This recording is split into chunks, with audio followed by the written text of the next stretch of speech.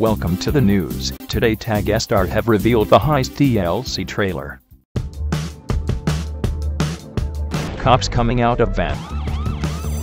I know you've been complaining. Lester the pedophile. Yacht heist butches. You need crew to take a score. New helicopter. Masks. Drill.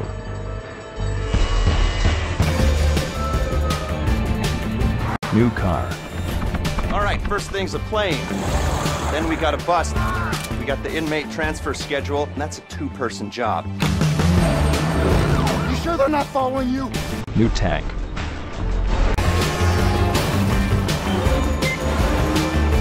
Aircraft carrier. A little bit of finesse. Simple. Should be the easiest money you'll ever make.